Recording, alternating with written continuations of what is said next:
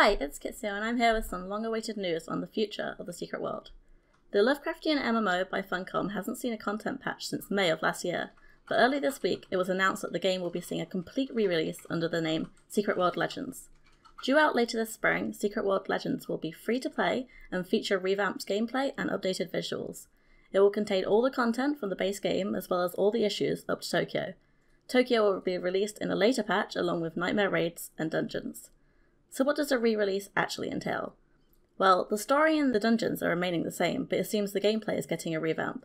Character progression will be done through levels, with each level giving increased survivability and damage output, and the ability wheel is getting simplified to make it easier for new players. Quests have been redesigned to flow better from hub to hub, possibly in the form of new breadcrumb quests between areas. The visual of the games are also getting a little polish in the form of improved character models and animations, although it will still be in the old graphics engine. If you are currently or have been a Secret World player, you probably have the same question we all had what is going to happen to our characters and progression? Well, this is where the bad news hits. Secret World Legends is going to be on an entirely new server, and there will be no option to import your character's appearance, gear, or progress. The Secret World servers will be remaining up, for how long we are not certain, but all new content will be exclusive to Secret World Legends. They have promised that in game purchases of vanity items will be moved across, and there is a name reservation system for the new servers, but you will essentially be starting from scratch. The endgame of the Secret World was extremely grind heavy, and the fact of the matter is that players who dedicated their time into upgrading Aegis and their museum are going to see no reflection of this in the new game. This decision may see a lot of current players become extremely disenfranchised with Funcom and the Secret World as a whole. As for their decision to make the Secret World Legends free to play, only time will tell how much microtransactions will impact gameplay. The Secret World was previously on the expensive end of MMOs.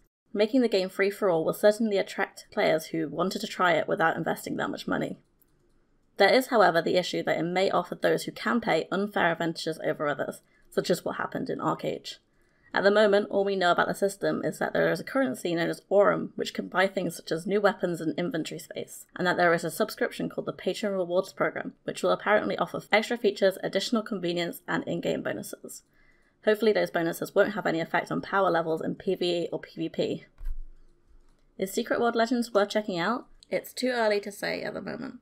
If the changes to combat and progression are positive, and Funcom begin releasing new story content again, this could be the revitalization of the franchise. Continue to stagnate on new updates, however, or the game becomes pay to win, then perhaps it'll be the end of it. You can sign up for the closed beta now over at the website if you want to get your hands on it before it gets released. I'll be making videos when the game releases with my impressions of it too, so if you want to see more, subscribe to the channel. Thanks for watching!